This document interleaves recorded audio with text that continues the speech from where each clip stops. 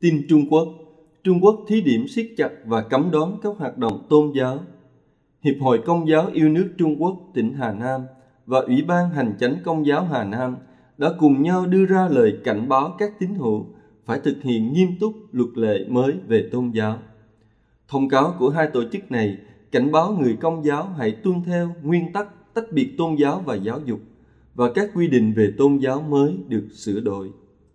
Theo đó, các cơ sở tôn giáo không được tổ chức các lớp về tôn giáo và trẻ em không được cha mẹ đưa đến nhà thờ. Thông cáo nói rằng, bây giờ có một vạch đỏ giới hạn nghiêm khắc, bất cứ ai vi phạm các điều lệ sẽ bị chính quyền truy cứu trách nhiệm và đóng cửa các cơ sở.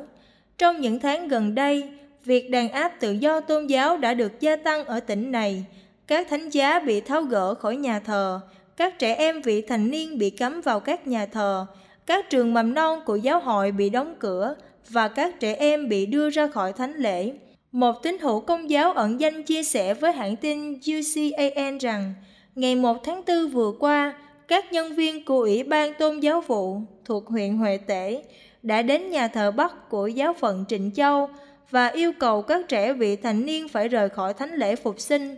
Trước đó, các nhân viên tôn giáo vụ đã chặn không cho trẻ em vào nhà thờ ở hai giáo phận Thương Khâu và An Dương. Ông lo lắng không biết sắp tới điều gì sẽ xảy đến nữa.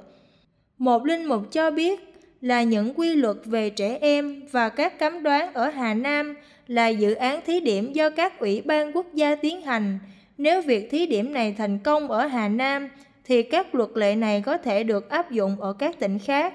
Cha cũng cho biết, trong những thập kỷ trước đây, giáo hội ở Trung Quốc phải đối diện những áp lực từ chính quyền và họ đã hoạt động riêng lẻ vì họ sợ sẽ bị tấn công nếu tiết lộ với người khác đức tin của mình.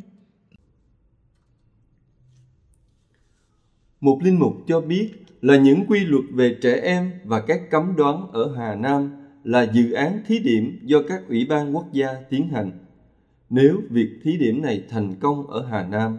thì các luật lệ này có thể được áp dụng ở các tỉnh khác. Cha cũng cho biết, trong những thập kỷ trước đây, giáo hội ở Trung Quốc phải đối diện với những áp lực từ chính quyền và họ đã hoạt động riêng rẽ vì họ sợ sẽ bị tấn công nếu tiết lộ với người khác về đức tin của mình. Cha hy vọng giáo hội Hoàng Vũ, đặc biệt các đại diện ở Hồng Kông và Đài Loan, sẽ dùng các lợi thế xã hội của họ với quyền tự do báo chí để vạch trần những chính sách cực đoan này và gây áp lực để giải cứu giáo hội Trung Quốc.